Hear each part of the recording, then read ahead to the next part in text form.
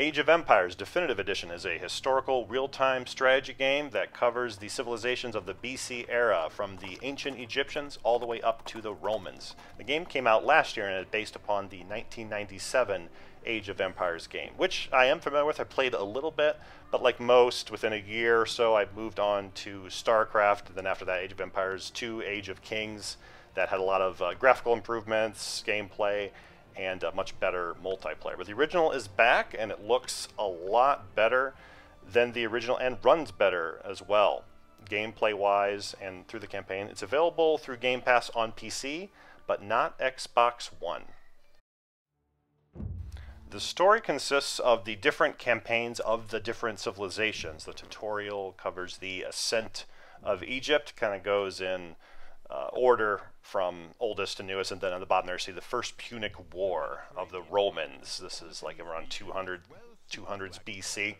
But how it works is each campaign there's a picture of the civilization. The narrator explains the first mission that you're going into, and there's just a map kind of telling you uh, what area that they covered for whatever historical event. And then you can change the difficulty on the bottom there uh, from easy all the way to hardest. This is the same type of thing that you have with uh, multiplayer that affects all the AI that you're fighting with in each mission. But it's pretty pretty dry.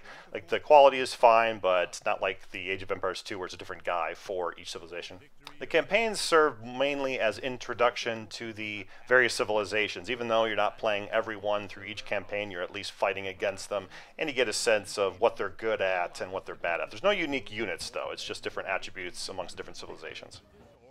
Overall, though, all the campaigns are bare bones. You're just treated to more commentary at the end, like narration, same guy, and then just a still picture. It's a far cry from even like Age of Empires 2 that had uh, the different images and then the acting also within each mission. There's uh, there isn't really any of that. So it's mainly for the appreciation of history. Gameplay-wise, Age of Empires is known for having various different units, so attack, defense, siege, and then the buildings for defense as well. Most people are, like me, are familiar with the second game, so but there are subtle differences. First, like with the buildings, for example, like the market, you can't trade resources, and like the storage pit in place of like the lumber camp, you can upgrade your units.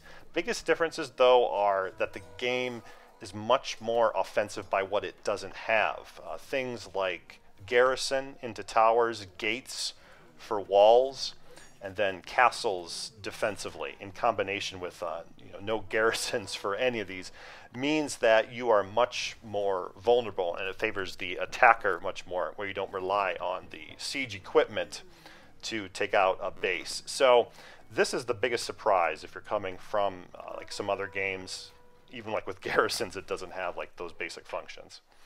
But graphically, these are the originals. It's a far cry from the original game. Not only in it looks better, but you can kind of tell what's going on and how well it runs.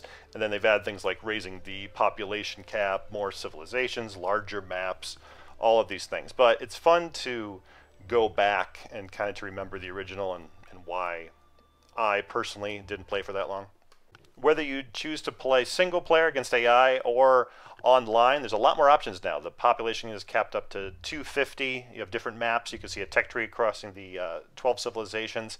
And online runs very well. There weren't too many games when I tried to play, but in terms of how well it, it run and how long it takes to get on game PC, I have had no issues.